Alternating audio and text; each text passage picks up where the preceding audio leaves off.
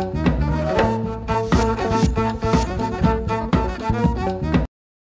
የአዲስ አበባ ባህል ኪነ ጥበብና ቱሪዝም ቢሮ የገና በዓልን ምክንያት በማድረግ በለሚኩራ ክፍለ ከተማ ለሚኖሩና በቁጥር ከመቶ በላይ ለሚሆኑ እናቶችና ህጻናት የማዕድ ማጋራት መርሃ ግብር አድርጓል። የማዕድ ማጋራት መርሃ ግብር ዓላማ እናቶች ለነገ ሀገር ተረካቢ ህጻናት ለሚያደርጉት የአሳዳጊነት ሚና ትልቁን ኃላፊነት ስለሚወስዱ ድጋፍ ለመስጠት መሆኑን ዶክተር ሂሩት አስታውቀዋል። የዲዝኒ ጁኒየር የህጻናት ማቆያና መዝናኛ ባለቤት ወይዘሮ ማርታ ከበደ ከአዲስ አበባ ባህል ኪነ ጥበብና ቱሪዝም ቢሮ ጋር በመተባበር ነው የማዕድ ማጋራቱን ፕሮግራም ያከናወኑት።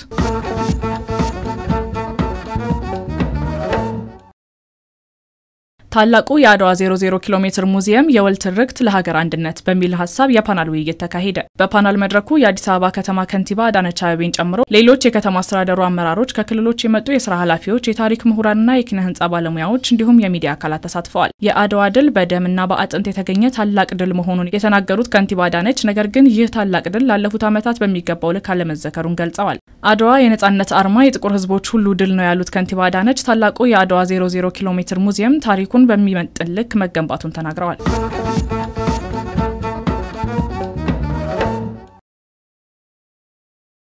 የአዲስ አበባ ባህል ኪነ ጥበብና ቱሪዝም ቢሮ የኪነ ጥበብ ዘርፍ ለ11ዱም ክፍለ ከተማ አማተር የኪነ ጥበብ ክበብ አባላትና የባህል ቡድን አባላት የባህል ውዝዋዜና የዘመናዊ ዳንስ የሙያ ማጎልበቻ ስልጠና ተሰጠ። የሙያ ማጎልበቻ ስልጠናው ዋና ዓላማ ብቁ የሆኑ የኪነ ጥበብ አባላትን ማፍራትና የእርስ በርስ የልምድ ልውውጥ ለማድረግ እንደሆነ ተገልጿል። ስልጠናው በዘርፉ ትልቅ እውቅናና ልምድ ባላቸው አሰልጣኞች የተሰጠ ሲሆን ሰልጣኞች በሙያ ማጎልበቻ ስልጠናው እንደተደሰቱና እንደረኩ ገልጸው ዘርፉን ለማሳደግ ከዚህ በላይ ትልቅ ትኩረትና ጊዜ መስጠት እንደሚገባ ጠቁመዋል።